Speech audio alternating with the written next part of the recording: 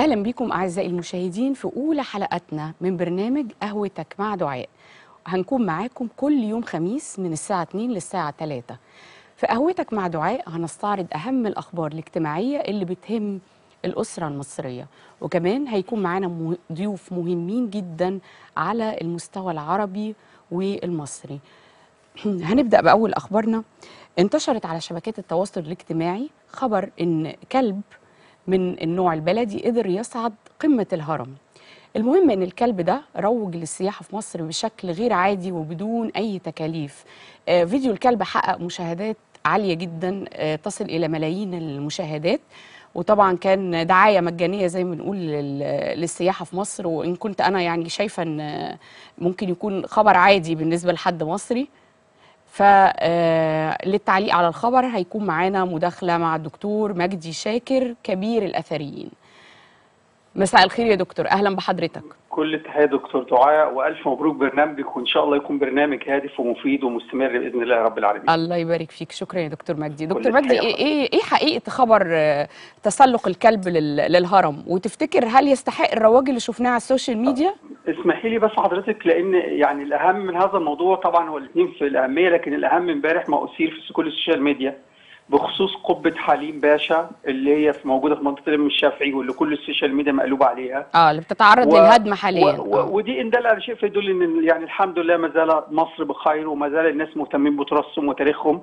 ولكن كل ما نخشاه نقول يا جماعة خليكم أرجوكم زي ما بيقولوا كل واحد ذات العيش لخبازه. إحنا قلنا كتير ويمكن الناس هجمتنا إن هذا المك... إن هذا الأثر أو هذا المبنى غير آثري لأن هو كان جنبه بالظبط حاجة اسمها قبة حوش الباشا وهي من نفس التاريخ ونفس ال- الأسرة. وما أي وما ضمتش هناك مجموعة من القواعد والقوانين التي تحكم أن يكون الشيء اثريا أو غير اثريا. فكرة مر عليه 100 سنة دي كلمة عامة ولكن هناك مجموعة من الضوابط والاشتراطات الأخرى.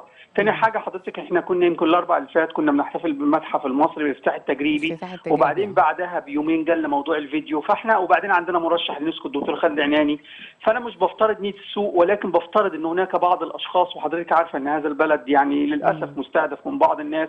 فإحنا بنقول للناس اهدوا علشان ده ما يش... إحنا ما صدقنا إن السياحه ترجع. وحضرتك شفتي يعني آه، حضرتك حضرتك شايف إن دي فترة و- آه، إشراق شمس السياحة مشرقة اليومين دول في مصر؟ بالظبط رغم رغم إن إحنا حوالينا في كل حدودنا الثلاثه مشاكل كتير جدا وبرغم من ذلك مصر بتتصدر وجهات السياحة العالمية والحمد لله إحنا حققنا في العشر أشهر اللي فات حوالي 10 مليون سائح متوقع يوصلوا ل 15 في نهاية السيزون وبالتالي فرصة جيدة.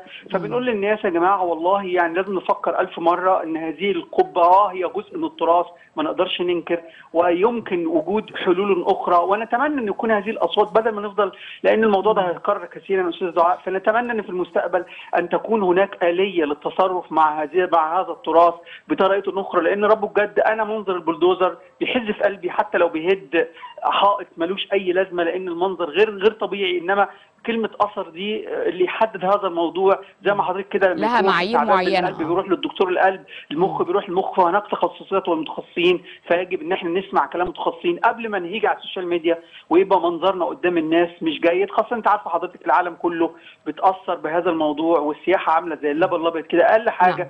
بتأثر في الدنيا. نيجي نعم. لموضوع حضرتك بالرغم حضرتك قلت هو خبر عادي ولكن بالرغم من بساطه الموضوع ولكن حضرتك بص على كم ال social media اللي اتكلمت عن الموضوع كم وسائل الإعلام في كل جرائد الإعلام. مش بس كده ده كمان قنوات الناشونال جغرافي وغيرها بدأت تتكلم عن قدرات هذا الحيوان ووجوده. فإحنا يعني رغم بساطة هذا الحدث ممكن نستفيد منه. نستفيد منه إن إحنا نر- يعني آه اثرنا مش محتاجة ترويج لكن نروج لفكرة دلوقتي فكرة الطيران الشراعي ممكن نعمل بعد. كده. آه. فكرة الطيران الشراعي الطيران. الرياضات اللي ممكن تمارس في منطقة آه الأهرام. نقدر نطلع فوق الهرم. يا جماعة تقدر تطلع مش أنت لوحدك ولكن طلوع مباشر لا. ولكن عن طريق الطيران الشراعي واعرف حضرتك الشباب سن العشرينات والثلاثينات بيحب سياحة المغامرة فاحنا لماذا لا نروج هذا. النوع من السياحة؟ طيب دكتور مجدي هو هو نظرا بس آه، ل- الناس ما كانتش للوقت واخدة بالها. الحلقة.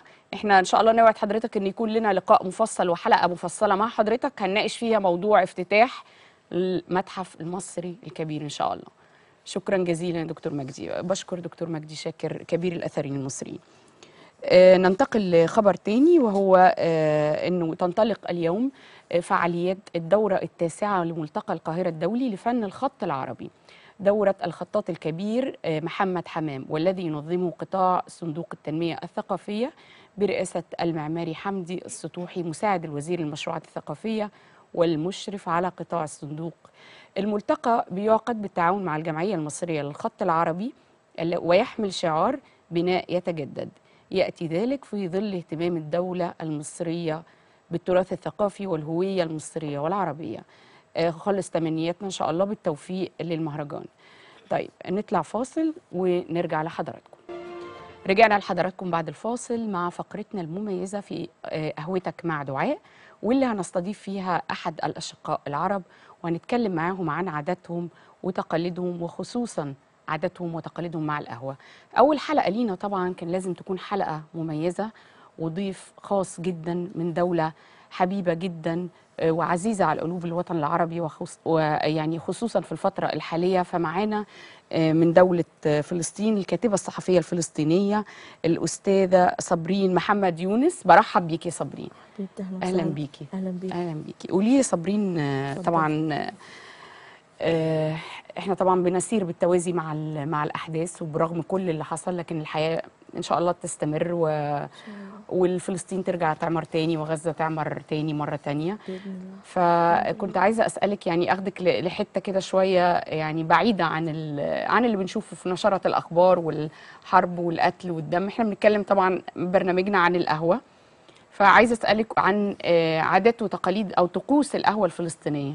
هل هي تختلف عن قهوتنا ان إحنا بنشربها هنا ولا قولي لي؟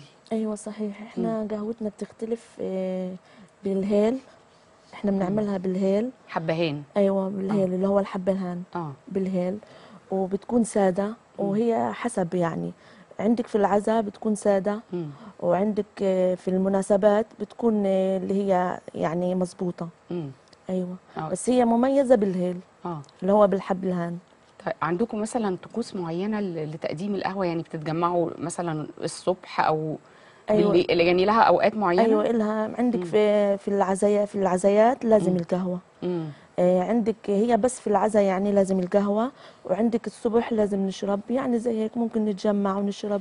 آه زي- ستات مع بعض؟ أيوة صحيح. أنا عارفة أنتوا بتعملوا حاجة اسمها صبحية أيوة ولا صحيح. إيه؟ أيوة آه. آه. عباب الح... عباب البيت. آه على باب البيت. طب تفتكري يا صابرين بتحسي أحيانا إن ال- القهوة بتغير المود ولا التجمع اللي معاها؟ لا هو التجمع أكيد آه. طبعا يعني. التجمع. لما بتكون حلوة مع القهوة هيك وبتكون قاعدة حلوة. امم وبعد كده تنطلقوا بقى كل واحد يبدأ اليوم بتاعه. أيوة صحيح. طيب عايزة أكلمك بقى عن عن فلسطين. أنت من من غزة ولا من منطقة تانية؟ أيوة من غزة. من غزة. من بيت حنون. آه وبقالك قد إيه في القاهرة؟ بقالي سنة وشهرين. آه مع الأحداث تقريبا. قبل الأحداث بشوية. قبل الأحداث بشوية. أيوة. واستمريتي في البلد. أيوة. أج- أجيت هنا أعمل أنا أطفال أنابيب آه. وما ك... يعني ما كانش في حرب. فإنه لما عملنا الأطفال الانابيب بعديها بشوية صار الحرب. آه. أيوه صارت الأحداث. ما قدرتيش ترجعي ما تاني قدرتش وكملتي أرجع والله أنا عالقة هنا أيوه حاليا. عالقة. إن شاء الله ترجعي بالف رب. سلام الله يبارك فيك. طيب قولي لي آه، صابرين إيه؟ كلميني عن الأكلات المشهورة عندكم في فلسطين غير القهوة بقى. كلمينا عن أيوة. ال- الأكل المشهور عندكم إيه؟ هو إحنا مشهورين طبعا بالمفتول. آه المقلوبة آه مشهورين. عندك الصبح لازم قلايه البندورة هاي. مم. لازم نعمل قلايه البندورة وزيت ده وزيتون. فلسطين والأردن. لا هو فلسطين أيوه آه. والأردن برضه آه. عندك لازم الصبح ن- براد شاي وجنبه اللي هو ال- ال- زيت الزيتون مم. و والزعتر وقلية البندورة هي يعني آه ده الفطار ال- هذا. لازم الفطار آه. أيوه آه، في يعني يوم الجمعة مثلا بنعمل اللي هو الأكلات المشهورة عندنا اللي هي المفتول مم. المقلوبة مم. المسخن الفلسطيني. هي هي الأكلات المشهورة هي المشهورة عندكم طب قولي لي أيوة. أنا شايفة ألوان جميلة وتطريز حلو قوي ال- الشغل اليدوي زينة اللي انت أيوة. لابساه كلميني بقى عن الزي اللي انت لابساه. أيوه هو هذا زينة بنلبسه في المناسبات يعني آه عندك بنلبسه في الأفراح بنلبسه في المناسبات بدنا نطلع مشوار هيك يعني. آه هو هذا. هو هذا أصلا لبسنا يعني هو هذا تراثنا تراث الفلسطيني يعني. ده بتشتغلوه؟ بنشتغله آه. باليد أيوه آه. الغرزة دي اسمها إيه مثلا؟ لا هو أنا مش أنا اللي بشتغلها يعني. بتشتغل- أيوه آه. آه. بس آه إحنا يعني في حدا بيشتغل هذا الشغل آه. وإحنا بنشتري فاهمة كيف يعني؟ آه. وألوان أيوة. ولا لازم الأحمر؟ الألوان في مم. الأحمر في اللي هو اللون البيج بس هدول اللونين. اللون الأحمر والبيج وفي الأبيض اللي هو الثوب الفلسطيني طيب الأبيض. ده آه، لبس عام ولا كل بلد لها غرزة مثلا ولا لا, لا؟ لا هو هو لبس عام لا. هو هو لبس عام أيوه. نفس التطريز ده. على فكرة أيوة، ده شبه التطريز. عندنا قوي. الشغل السينا يعني سينا؟ آه. ما هي سينا برضو يعني شغل تابعة. بتاع أيوه تابعة برضو سينا. نفس الجلابيات بالتطريز بشكل الغرزة باللون الأحمر المميز أيوة مع الأسود. أيوه أيوه. آه. فده أنتوا بتحرصوا عليه في المناسبات أيوه في بس. آه. المناسبات وفي ال- في- يعني في الأماكن اللي زي هيك. آه بس أما زمان كانوا بيلبسوه لوحده مش شرط كانوا مناسبة. يلبسوا أيوه كانوا يلبسوه على طول اللي هو ستي وهيك كانوا يلبسوه على طول يعني. إيه، على طول بيلبسوه في البيت وهيك. آه. أيوه. وجلب يعني مش جلابية يعني ممكن أي حاجة سكارف أي ممكن حاجة. سكارف ممكن آه. أي حاجة صحيح. الصبايا بيلبسوا اللي هو زي هيك اللي هي ستي وأمي بيلبسوا اللي هو الثوب الفلسطيني. آه آه. طيب عايزه أسألك يا صابرين طبعا يعني يا رب غزة تعمر وفلسطين كلها تتحرر ويرجعوا الناس لبيوتهم ويعمروها تاني وأجمل ما كانت كمان. كلميني. كده عن البيت الفلسطيني التقليدي. تقسيمته إيه؟ شكله إزاي؟ وأنا داخلاه يعني كلميني كده انقليني كده في في الخيال حتى. حبيبتي الله يسعدك. مم. إحنا عاداتنا عاداتنا يعني حلوة. عندك اللي هو لازم كل واحد يكون له طابق له طابق مستقل من ال. يعني من ال من الأبناء يكون له طابق مستقل. بن- بنتجمع يوم يوم جمعة. لازم. كلهم يتجمعوا عند الأم عند الأم والأب. لازم نتجمع يوم الجمعة هذا بنسميه يوم عيلة. لازم نتجمع كلنا. أيوه. أول ما تدخليه حتحسي إنه فلسطين هيك روحه فلسطينية بتحسي بتحسي البيت آه، روحه هيك حلوة. آه. بتكون لكن أيوه. عموما آه، بتحسي البنت أو الست الفلسطينية تتميز بإيه؟ أو انت عشتي هنا في مصر سنة حاسة اختلاف إيه عن الست المصرية؟ إيه، ولا المرأة هي المرأة؟ هي المرأة. لا أكيد في اختلاف. لا هي المرأة برضو بس إحنا عندنا عندنا إحنا إيه بيحترموا المرأة. يعني ثانية واحدة مين اللي بيحترم المرأة؟ عندنا الرجال وعندنا المجتمع. آه. يعني بيعزوا بيعزوا المرأة عندنا آه. بيحترموها. ست مقدرة يعني. مقدرة أيوه آه. صحيح. أوكي. أيوه وبيحترموها وهيك. وده ما حسيتيهوش هنا؟ هنا آه. مش يعني مش كتير لا. مش كي... يمكن انت عشان ما, ما احتكيتيش كتير بال... بالكل ال- أيوة، آه يمكن، بكل أيوة. المجتمع المصري. أيوه يمكن. آه. بس هو عندنا إحنا إيه بق- بقدروا المرأة أيوه. مم. أيوه. آه. طيب قولي لي بقى يا صابرين يعني برضو يعني كل تمنياتنا إن الأفراح ترجع وال... والدنيا والحياة الطبيعية والأجيال اللي تتربى في جو صحي و... ونفسي كويس شاء أكيد الحياة تستمر. يعني إحنا أحيانا بنشوف إنه حتى في المخيمات وحتى في أماكن اللاجئين بشوف ناس بتحتفل. بزفاف. بجواز. بيغنوا بي... بيشهروا الجواز صحيح. كلميني عن أفراحكم بقى في العادي يعني أيوه إحنا أفراحنا بتتميز ب هي الأول الصبح ولا بالليل وميعادها إيه؟ إحنا عندنا بي- بيجيكي يوم آه، اللي هو لل- للنقش الفلسطيني يعني لازم يوم للحنة الفلسطينية يوم إنها آه، هذا تلم حبايبها وتلم جيرانها وتجتمع وتتنقش العروس بالنقش الفلسطيني واللي هو النقش بالحنة الفلسطينية. و... وتتجمع وت... زي ليلة حب- حنة قبل الفرح. مم. حنا اسمها عندنا حنة فلسطينية. مم. هذا يوم الحنة. أوكي. آه، بيبدأ من الصبح لبعد العصر. مم. بيجوا الحبايب وهيك بيبقوا لابسين اللي هو الزي الفلسطيني وبتنقشوا وبحطوا لهم قهوة وهيك وبقعدوا وزي هيك. تاني يوم هي بتكون اللي هي الد- يعني بتكون اللي هي الزفاف حفلة الزفاف بتكون في قاعة مم. الصبح بي- بيجيبوا غدا اللي هو لازم يجيبوا وجبة غدا. لكل المعازيم بيعزموهم بيجيبوا لهم غدا للعيلة والأحباب وهيك لازم هيدي وجبة غدا مش الغدا عشاء المعازيم لا، غدا. آه. إحنا العكس بقى إحنا عشاء آه. أيوه أنت عشاء آه. إحنا غدا وفي الليل بصير القاعة وبصير حفلة الزفاف. اللي هي إحنا بنسميها الدخلة. والحفلة منفصلة الستات لوحدها والرجالة لوحدها أيوة. ولا مختلف أيوه لا آه. إحنا ال- النسوان بقاعة. آه الستات والرجال بيكونوا وال- أيوه برا أيوه. والرجالة لوحدها. أيوه. جميل.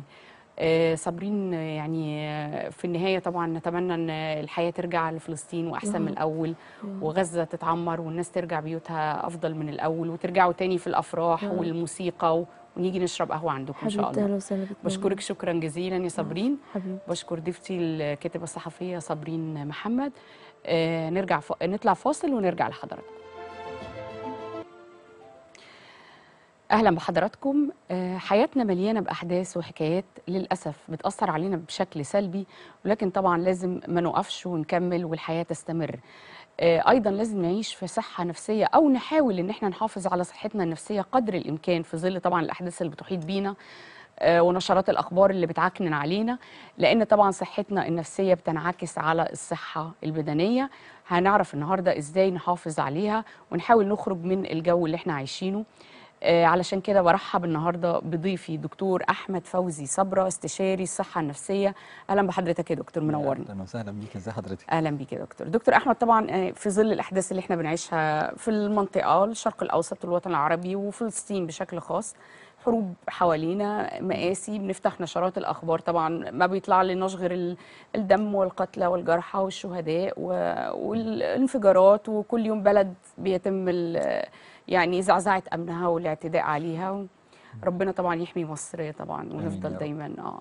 لكن في ظل اللي إحنا فيه دكتور أحمد إزاي نحافظ على صحتنا النفسية؟ طيب نقول بسم الله الرحمن الرحيم. اولا عشان نقول إزاي نحافظ على الصحة النفسية عايزين نفهم الناس إيه هي الصحة النفسية أصلا. صحتك النفسية هي السعادة هي المتعة هي الإنجازات اللي أنت بتقدر تعملها في كل مرحلة عمرية أنت بتعيشها. لو أنا النهارده طفل المفروض أعيش مرحلة طفولية حلوة سعيدة. أنا نفسي شايف إن أنا بعمل ال- المفروض أعمله في المرحلة دي. لو عدت مني المرحلة بتاعتي أبقى أنا سعيد بإن هي دي المرحلة اللي عدت بيا. ما عنديش مشكلة فيها. نفس الفكرة بتحصل لو أنا النهارده في الشباب لو أنا في مرحلة الرجولة. إذا كل مرحلة عمرية بتعدي عليك وأنت بتعرف تحل مشاكلك وأنت بتعرف تعمل إنجازاتك وأنت بتعرف تحقق لنفسك مقدار من السعادة والمرحلة دي بتعيشها صح دي اسمها صحة نفسية. تشمل في داخلها بقى خلوها من الأمراض. إن أنا ما يعديش عليا أمراض في المرحلة دي ما يعديش عليا حاجات تفقدني التوازن بتاعي في المرحلة دي ما يعديش عليا أشياء تفقدني قدرتي على التعامل بشكل صحيح. ده كده صحة نفسية. طبعا بناء على ال- التعريف دوت لما ألاقي بقى إن أنا عندي أحداث خارجية بتأثر عليا نفسيا. ألاقي أخبار غير سعيدة بتحصل حاجات ما بتمناهاش حاجات مش كويسة لكن للأسف كل ما أفتح التلفزيون كل ما أفتح مثلا نشرة الأخبار أسمع أحداث مؤلمة. ده هيأثر عليا؟ آه طبعا هيأثر عليا جدا. ليه؟ لأن أنا بني آدم طبيعي ما كنتش أتمنى ان أشوف إخواتي في العروبة بيحصل ليهم كده في كل دولة بيحصل فيها مشكلات. كنت أتمنى ليهم سعادة وإنجازات أكبر وأكبر. فدي اللي بتحصل فيها حالة من الضغط النفسي اللي بيأثر على الصحة النفسية بتاعتك.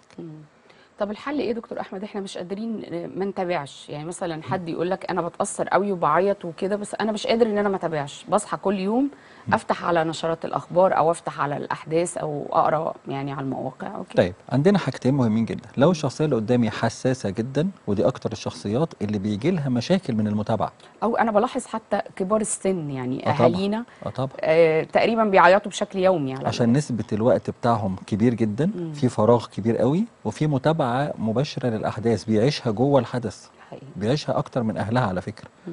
يعني يمكن أنا على معاشرة بناس كتير داخل غزة على معاشرة بناس كتير بره يمكن بتواصل معاهم بفضل الله لأ بيقيموا حياة. يعني قادرين يعيشوا حياة بفضل الله كويسة. صامدين. صامدين ولا ويجيبوا لنا مشاهد كمان إن هم جوه مدرسة مقيمين فيها ومع ذلك بيلعبوا كورة. جوه ما أعرفش إيه بيحصل. آه هي معاناة بس بيحاولوا ينفسوا عن نفسهم. بشكل سليم على عكس النهارده أنا ممكن ألاقي واحد موجود في مكان هنا بيعيط جامد جدا وبيعيط على حال البلاد وهو بعيد وهو بعيد. يعني مئات الكيلومترات عن آه عن دي. حساسية مفرطة الحساسية المفرطة عندنا تيجي من القلق والتوتر مم.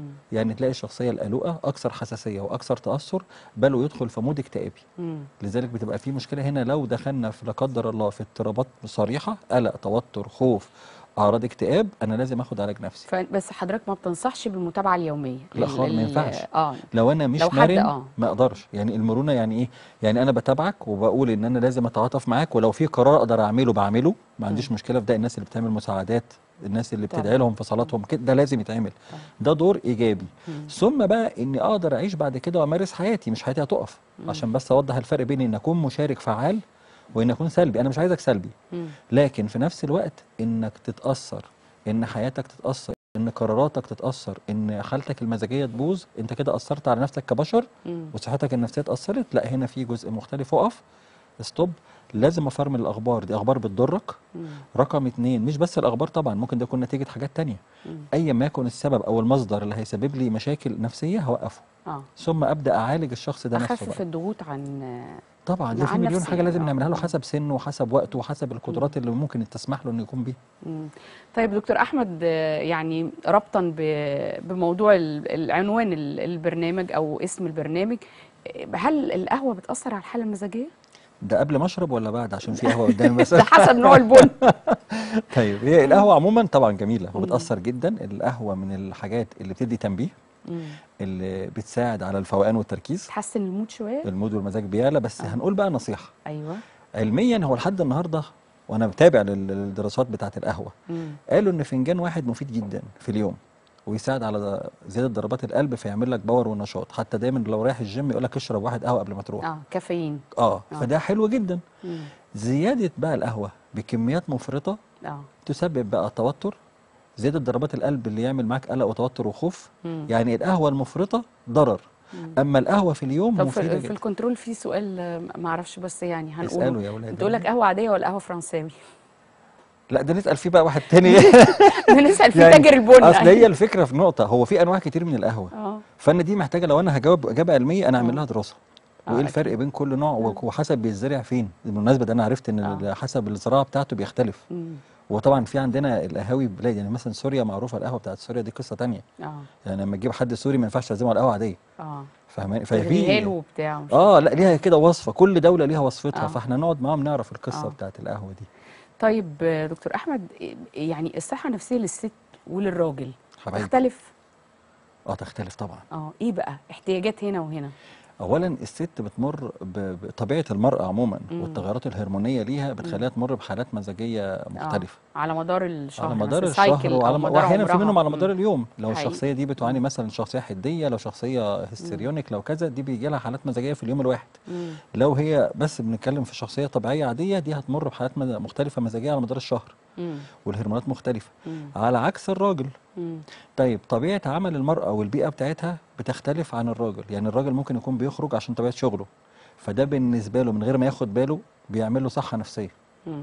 إنه بيقابل ناس إنه بيخرج في جو نفسي كويس إنه بيغير المكان من مكان لآخر من أيوة. بيت لعمل ورجوع مرة تانية إنه حتى لو في ضغط نفسي وبيخرج يشتغل فبيقابل ناس جديدة ويتكلم في حاجات تانية فخلاص عمل صرف انتباه من غير ما يشغل باله. آه. على عكس مثلا مرأة قاعدة في البيت حالتها النفسية تتأثر أكتر بكتير. طبعا. في مشكلة حاصلة بينها وبينه تقعد هي تفكر فيها يعني باليومين وترجع تلاقيه هو قاعد ولا في باله. لا وبعدين الأمور بتض... يعني تتضخم معاها يعني بتشوف الحاجة كبيرة. عشان متفرغة. آه متفرغة وقاعدة لها. لذلك إحنا حتى بنقول إن بنلاقي كتير من النساء أكثر عرضة للتقلبات المزاجية والإضطرابات عن الرجالة طيب دكتور أحمد إحنا معانا مداخلة يبدو إن الموضوع شيق آه معانا أستاذ محمد حسين من القاهرة السلام عليكم ورحمة عليكم الله السلام. وبركاته. عليكم أهلا بحضرتك يا ورحمة الله أستاذ وبركاته. محمد اتفضل آه، ازي حضرتك يا دكتور؟ يا أهلا وسهلا بيك أهلا بحضرتك. أنا سؤالي مختصر بس عشان وقت البرنامج. أنا عندي 47 سنة تمام آه، مريض آه، انزلاق غضروفي في الفقرات القطنية تمام وعندي سكر بالنوع الثاني. تمام؟ أنا راجل. منفصل وعايش لوحدي بقالي أكتر من آه، 11 سنة. تمام فانا الحمد لله مفيش حاجة نفسية أنا ملتزم وبصلي الحمد لله. ما شاء الله ربنا يبارك في حضرتك. أنا بس مشكلتي آه، النوم ملخبط عندي لأن الشغل عندي كمان مش مظبوط لأن الغضروف عامل لي مشكلة في حياتي يعني. تمام ففي نوع كده علاج طبعا ما ينفعش أقول اسمه على الهوا قول اسمه عشان لي خمول ممكن اقعد 12 ساعة نايم. تمام لسه مؤخرا حد قايل لي عليه يعني. فأنا جبته يعني جبت شريط منه قلت أجرب. لوحدك كده. يعني أنت جبت الشريط وخدته كده؟ آه هو حد قال لي ده بي- بيعالج الأعراض. هو حاجة زي جاتين كده وحاجات اللي هي ديت نفس ال... نفس الاتجاه ده. تمام. بس التركيز بتاعه عالي شوية. فالصيدلي قال لي ما قال لي ما تاخدش القرص كله. ممكن ممكن ينيمك كتير قوي. فأنت تمام خد نص قرص. حلو. خدت نص قرص ممكن يخليني مثلا 10 ساعات 9 ساعات. ولو حتى لو قمت قبل كده أصلي الفجر ببقى قايم مدروخ ماشي. الحاجة الثانية في بعض الدكاترة النفسيين آه، أنا رحت قبل كده لدكتور نفساني آه، بدون ذكر اسمه يعني هو مشهور جدا اعلاميا يعني. قال لي آه، قال لي حاول على قدر ما تقدر ما تعيش لوحدك. طب أعمل إيه؟ أروح عايش في الشارع يعني. تتجوز يا فندم. ما يبقى لسه واضحة النصيحة واضحة اهي تتجوز. مش عارف اتجوز والله الحياة صعبة دلوقتي الجواز بيتكلم معانا. ربنا إن شاء الله ي- أنا هعمل لك. حلقة على موضوع الجواز ده بس كمل معاك الأول. فانا فانا فأنا أعمل إيه؟ حاجة تديني وقايه في أكيد طبعا ناس كتير كتير من الشعب المصري عايشين لوحدهم سواء. سيدات أو رجال. حاضر فأعمل إيه عشان أي أعالج ده؟ أنا لحد على قدر الإمكان بخرج بهوي نفسي وبخرج بتفسح بروح هنا وبروح هنا. بس اغلب الأوقات ببقى مقيم في البيت. فإيه الوقاية اللي حضرتك تقول لي عليها؟ ولو في نوع آه، حتى تقول لي المادة الفعالة بتاعته إيه مش لازم الاسم اللي يخليني أبقى مسترخي ويكون ملوش اثار جانبية. هجاوبك حالا أنام يعني بطريقة طبيعية يعني. حاضر. واضح سؤال حضرتك. شكرا أستاذ محمد. دكتور أحمد طيب هيرد عليك. هو بس إحنا وأنا هنقول- كرايي مذيع هو يتجوز. رأي الطب النفسي بقى مش. عارفة مش عارفة حضرتك هتقول له إيه. طيب هو اولا بس في حاجة أنا أول نصيحة ليه اوعى تاخد دواء. ما إحناش عارفين بتاعي. وباخد منه للتجربة. انت جسمك مش بتاع تجارب وما أعرفش الحاجة اللي داخلة قد تضر أكتر ما تفيد حتى لو أنا هنام ممكن اكون هنام بس الحاجة دي نيمتني كتير جدا مم. وفي نفس الوقت هي بتشتغل على حاجة تانية فده ضرك ما هي دي الثقافة بقى اللي منتشره يا دكتور أحمد غلط. إنه أنا كلمت الدواء ارتحت عليه ف... فلان فأنا قال لي. قلت فلان قال لي في الشغل ده ده هايل وخده ومش عارفة طيب آه. فدي أول غلطة طيب مم. رقم اتنين هو نفسه بيجاوب سؤاله مم. من داخل السؤال اولا أنا عايش في حالة فراغ فراغ نفسي. اولا إحنا مش بنتجوز عشان آه، جواز وخلاص. أنا بتجوز لوجود ونس في حياتي. ده. الأصل في الجواز. مم. الله عز وجل لما ذكر الجواز قال إيه؟ سكن. مم. حد بعيش معاه أتونس بيه في حياتي يبقى شريك ليا بفضفض معاه. الفضفضة دي في حد ذاتها آه. تساوي راحة نفسية. حقيقي. إن أنا أسمع للي قدامي وأشاركه دي مشاركة اجتماعية. مم. إن أنا يكون عندي تعامل ناجح فده ذكاء اجتماعي. يعني كل واحدة احمد منهم هو ذكر إن عنده 47 سنة. على رأسي. تفتكر إنه الجواز في السن ده بيبقى أسهل؟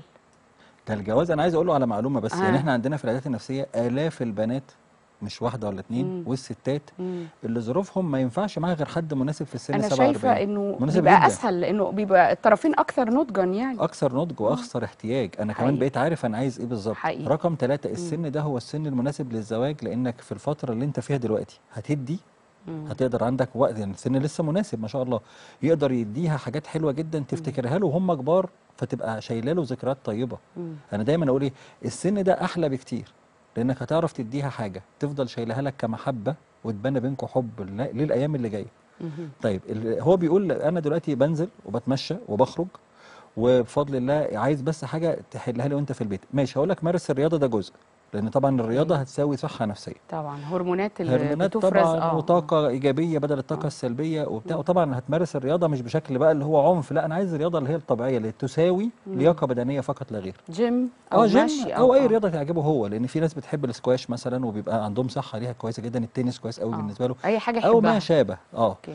طيب رقم اتنين أنا عندي آه العلاقات الاجتماعية مع الأصدقاء. مم. يعني أنا لو بقعد كل يوم أو حتى بلاش كل يوم مرة في الأسبوع مع أصحابي مم. فيها تفريغ نفسي طيب جدا. طيب رقم ثلاثة العلاقات الأسرية بقى اللي هي القرايب والحاجات دي عشان يحس إن في صلة رحم ورايحة جاية. حقيقي. طيب أربعة الهوايات أنا بحب أعمل هواية إيه وأنا موجود؟ أنا بحب هواية الطبخ أنا بحب هواية تانية هواية كذا. دي حاجات مهمة. علاقة بالله عز وجل دي قبل كل اللي أنا قلته. مم. يعني علاقتك بالله عز وجل هتخلي دايما عندك حالة رضا. رضا يعني إيه؟ يعني النظر لمن هو أدنى وعدم النظر لمن هو أعلى. ده سر الرضا. فبالتالي لما ابص الناس أقل مني دايما هقول الحمد لله يا رب. أنا مبسوط باللي عندي. حقيقي. آه أنا ممكن أكون مفتقر لحد في حياتي لكن لا ده أنا أفضل من واحد تاني ما عندوش صحة خالص. فدايما الحاجة دي هتديك طاقة نفسية أعلى. وبفضل الله هتخلي مودك حلو. أخيرا النوم اللي بنتكلم عنه واللي هي مشكلته الأساسية النوم عمره ما كان مرض لوحده. النوم ناتج عن حاجة إما إن قلق وتوتر داخلي هو ممكن يكون زايد. الله يبارك فيكي ده اللي هو over thinking عالي آه. هيخليك ما تعرفش تنام بالليل. يبقى أنا لو فكرت آخد علاج ساعتها آخد علاج إيه؟ نوم؟ مم. لا آخد حاجة للتوتر. مم. أعالج القلق بالنهار أروح أنام بالليل طبيعي من غير أي نوع دواء. مم. يبقى هنا الفكرة كلها أنا محتاج أظبط السبب الرئيسي لعدم النوم. النوم مجرد عرض يقول لك إن في مشكلة في حياتك بالنهار. ارجع شوف السبب إيه زي الصداع كده. في صداع يبقى في مشكلة. ارجع دور عليها فين؟ مم. هي دي القصة. مش يعني دور على. السبب الرئيسي اللي ورا يبارك المشكلة فيك. مش العرض نفسه. مش إن أنا أعالج النوم بحاجة وخلاص.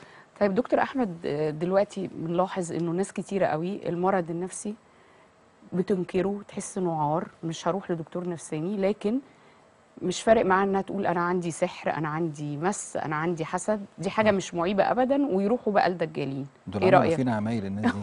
إيه رأيك؟ اولا أنا خدت دبلومة شريعة مخصوص. يعني هو بيستعي بيروح لطبيب آه، آه، لكن آه. مش مستعي بيروح لدجال. بس أما أقول إن مس وسحر يبقى أنا كده مش أنا السبب. دي حاجة غيبيه ومعمولة لي. آه. وأنا مفعول به. أوكي. لكن تقول مريض نفسي أنا أنا ضحية. آه طبعا. مريض آه. نفسي دي يعني أنا مجنون.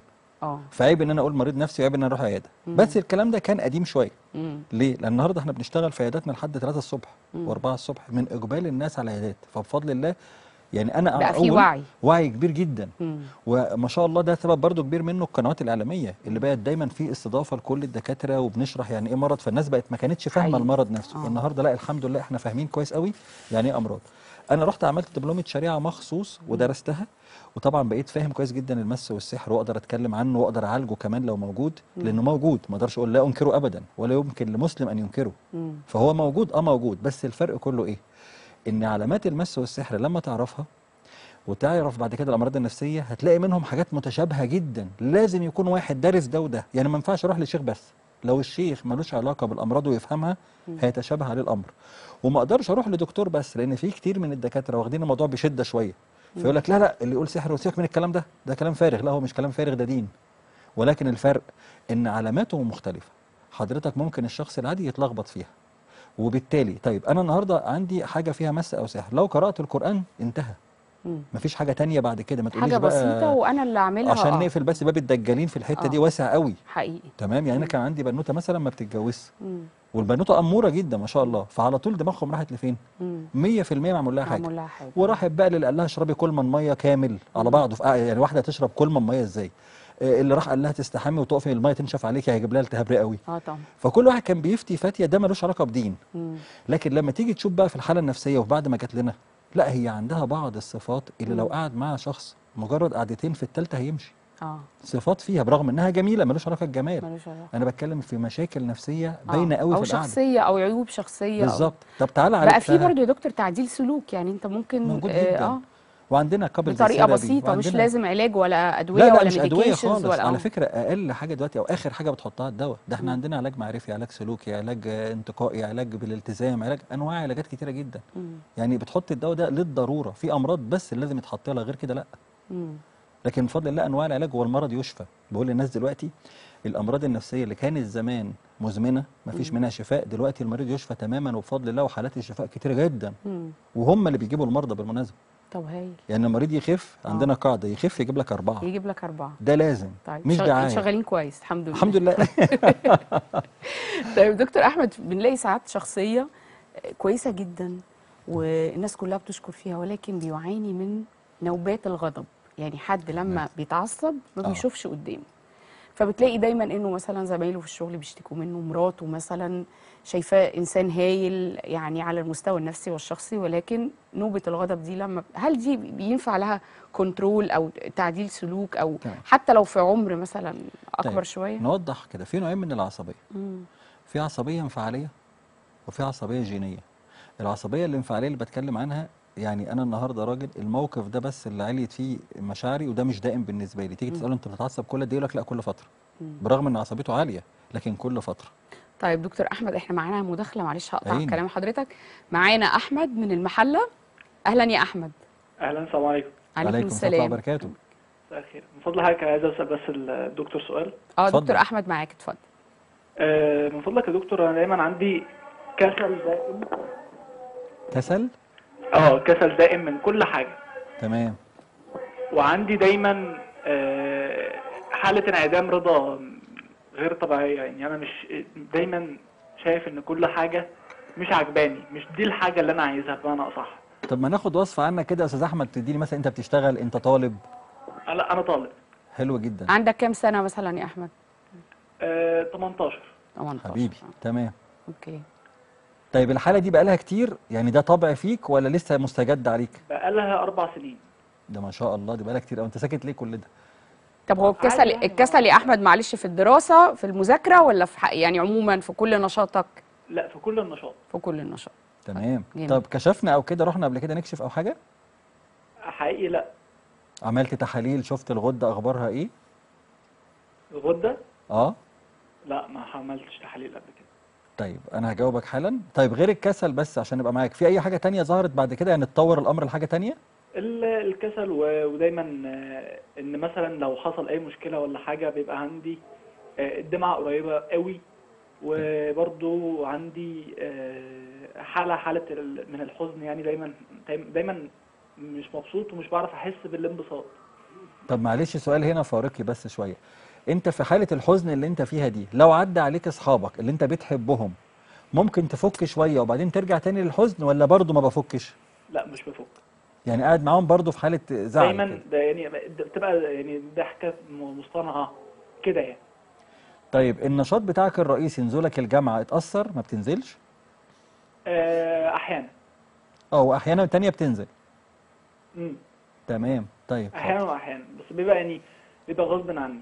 طيب شكرا يا أحمد دكتور فهمت. أحمد هيرد على حضرتك طب هو طبعا جسد هنا حاجة مهمة قوي وإحنا بنتكلم وطبعا أنا بقول للناس بس نصيحة مهمة إحنا اللي بنقوله دلوقتي ده مش هو التشخيص ده يعني تشخيص مبدئي لأن عشان أعمل تشخيص لحالة أنا لازم بقعد آخد حاجات تفصيلية طويلة جدا وقت مم. البرنامج مش سامح بيها مم. لكن بنقول تنويه ربما يكون اللي هنقوله دلوقتي مم. اولا مع الحساسية الزيادة إنه حساس جدا جدا جدا مع حالة المود القافل خالص تمام مع حالة الإحباط اللي بقالها فترة طويلة ما عرفش يخرج منها أظن الحالة دي تميل إلى القلق والتوتر آه. بشكل شديد. القلق عندنا هو إيه تعريفه؟ مم. تفكير في المستقبل مع تشاؤم. يعني أنا قاعد عمال أفكر في اللي جاي فمش راضي عنه متوقع الأسوأ برغم إنه لسه ما جاش. مم. طيب الشخص بيكون حساس جدا دماغه بتفكر كتير جدا بيهتم بتفاصيل جامدة جدا من غير ما ياخد باله خالص طبيعته.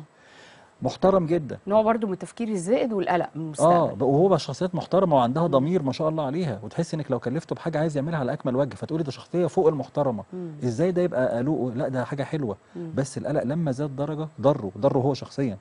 عمل له إيه؟ عمل له حاجة اسمها فقدان شغف. اللي هو زي ما أقول لك إيه أنا مش عايز أعمل حاجة. آه و- كل حاجة وقفت. وكلمة فقدان الشغف دي التي تستخدم في رايحة جاية في في كل حاجة. محلها وفي غير آه، آه. محلها. يعني واحد صاحي من النوم النهارده أنا فاقد الشغف أنا فاقدة أنا الشغف عشان كده سألته آه. بتنزل دي لازم لا؟ نعمل لها حلقة يا ده دكتور أنا دي قبل آه. دي.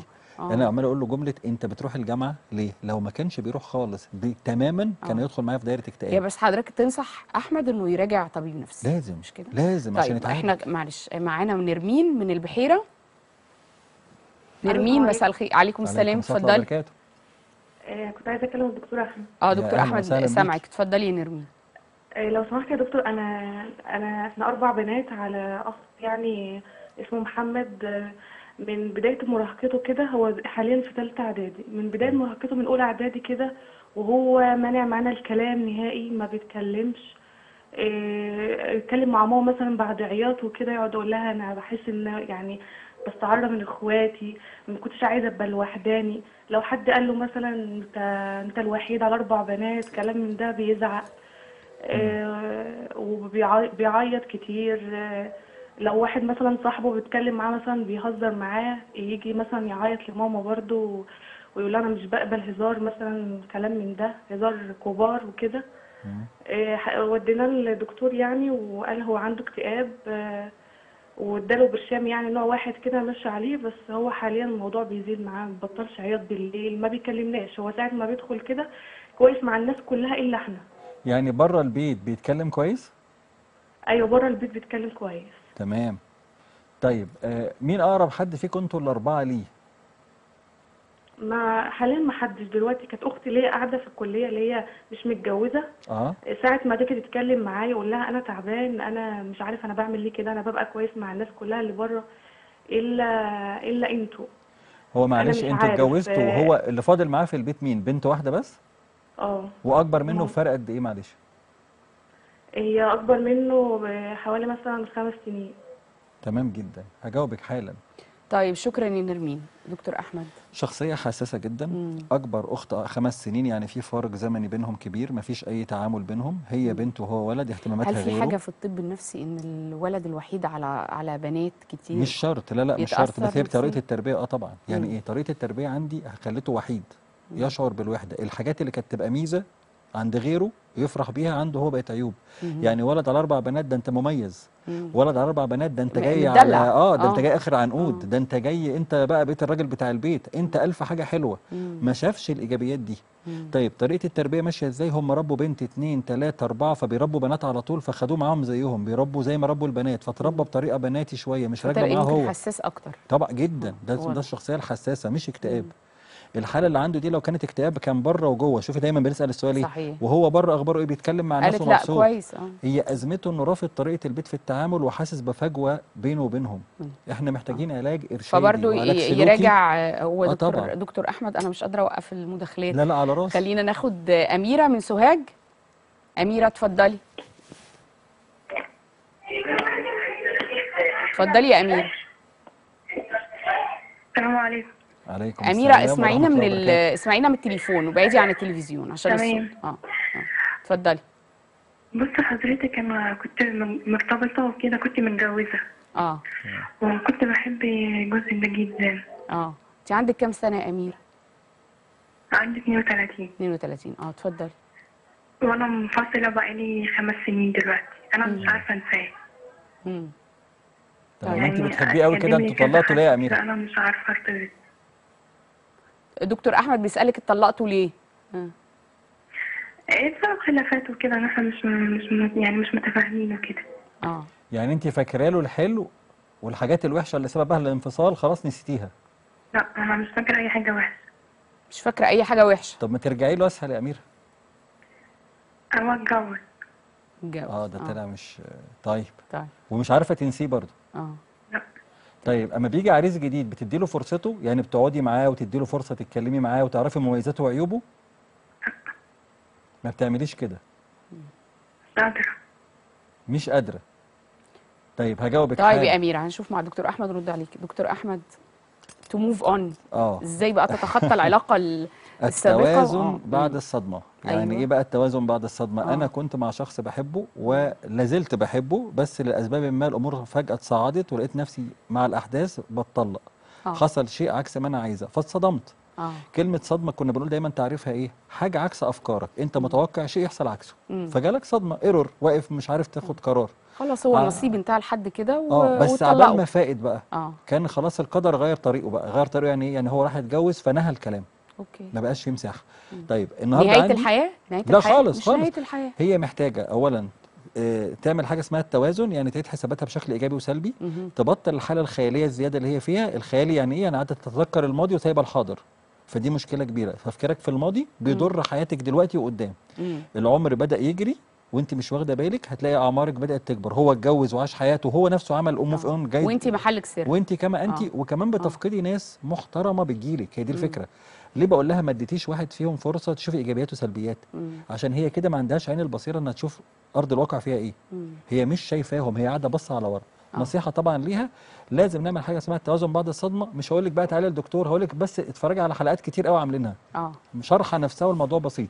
آه. هتعرف تعملها لوحدها من غير أي حاجة. سهل قوي. يعني على ممكن راسي. على يوتيوب أو كده على اليوتيوب هتعرف تعمل الخطوات. بس. طيب دكتور أحمد سريعا بس عشان الوقت بيداهمنا. عايزين روشتة لصحه نفسيه متزنة سريعة. طيب لكل اللي قلنا لهم بقى. كل تمام؟ ال- آه. اولا الحياة التي تخلو من الرياضة آه. يدخل مكانها الدواء. أيوه. هتقول لي ما بلعبش رياضة؟ هقول لك استعد للعقاقير اللي هتخش جسمك دلوقتي حالا. جميل. فده حل بسيط رقم واحد. الرياضة. رقم ما في بقى ما فيش وقت وما فيش ما أعرفش إيه. لا وفر وقت بدل ما تقضيها أمراض بعد ما كده. فيش وقت بقى في الحلقة. هو كده بقى ما ما بقاش في وقت للحلقة. نخليها بقى دكتور أحمد آه، إن شاء الله لنا لقاءات وحلقات. جاية. طبعا كنت ضيفا عزيزا آه،. دائما. آم، أعزائي المشاهدين بشكر حضراتكم. شكرا جزيلا.